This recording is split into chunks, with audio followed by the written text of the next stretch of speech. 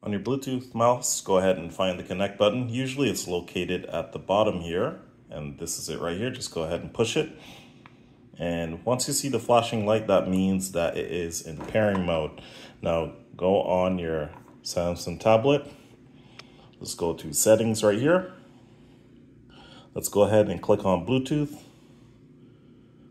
And now we'll just look for the mouse here. This is the Logitech mouse. Let's see if we can find it. This one right here is the Logitech M196. This is it right here. Click on pair.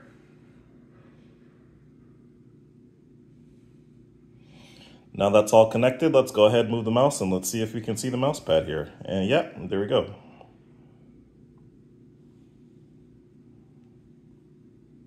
Ah, there we go. Let's go up, let's go down, and that's how you do it.